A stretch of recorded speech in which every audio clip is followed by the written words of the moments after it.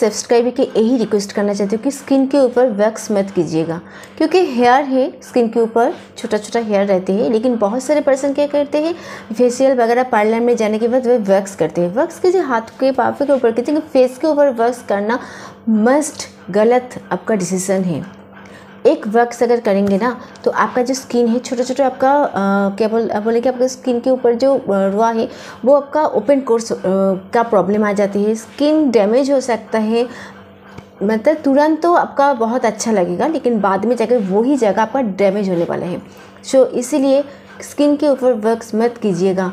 क्या करने, क्या करेंगे? देखिए, मेरे साथ बनता रहिए, पूरा वीडियो देखिए, क्योंकि मेरा सब्सक्राइब मुझे रिक्वेस्ट किया है, जो उसका स्किन है वो वैक्स करने के बाद आज मतलब वही जगह आपका पूरा ब्लैक पैचेस आ चुका है, आपका ओपन कोर्स आ चुका है स्किन पूरा डैमेज हो चुका है।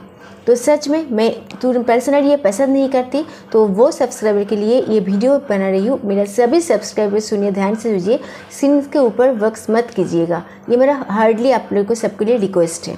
हेलो तो समृद्धि सॉल्यूशन चैनल में सभी के दिल से स्वागत करती हूँ।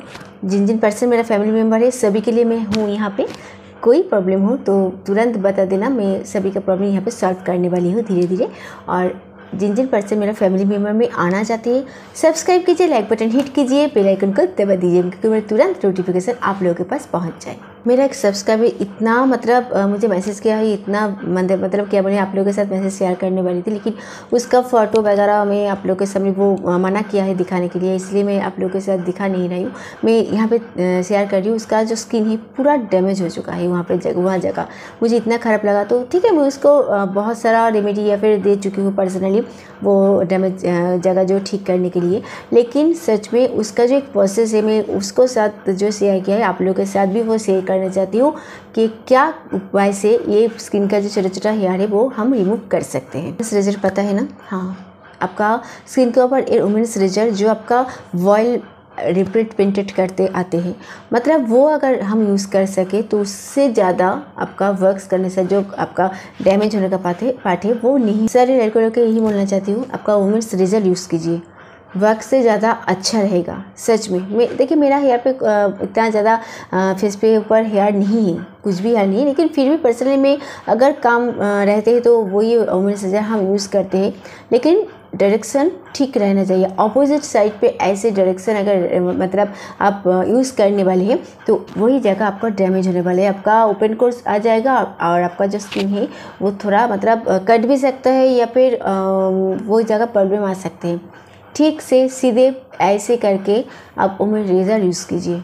सच में आप मान लीजिए उम्र रेज़र यूज़ करने के पहले एक प्रोसेस है, आपका वही जगह अच्छी तरह एलोवेरा जेल मैसेज करना पड़ेगा।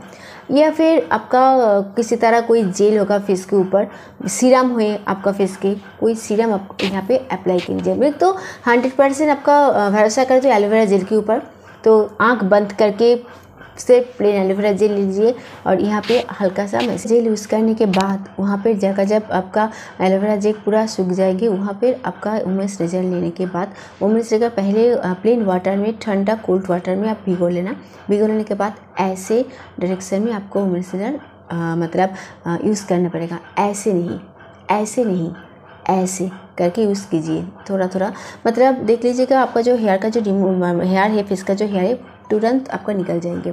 और फेस फिर आपका जो आ, मतलब यार वहाँ पे निकल जाता है फिर अब सेकेंड टाइम वहाँ पे पानी से धोने के बाद मतलब और भी और एक लेयर एलोवेरा जेल आप लगा के छोड़ दीजिए।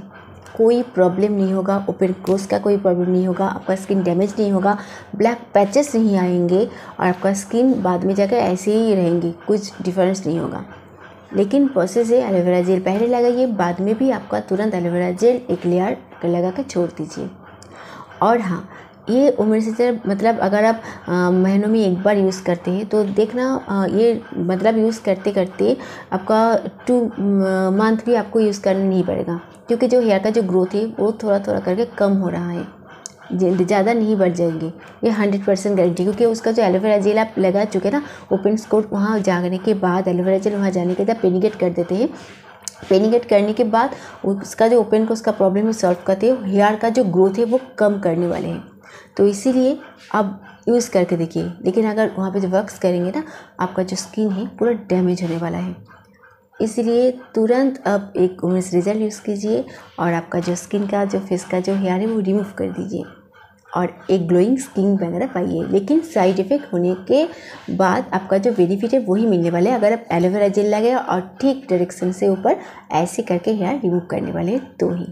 ऐसे करके एलोवेरा जेल यूज़ करने के बाद देखना आपका फेस कितना चेंज होने वाले हैं। ये मेरा हंड्रेड परसेंट गारंटी है। और ऐसे करते करते आपका हेयर ग्रोथ भी कम होने वाले हैं। ऐसे यूज़ कीजिए। अगर मेरा वीडियो अच्छा लगा तो एक लाइक बनते हैं। आज के लिए इतना से थैंक यू सो मच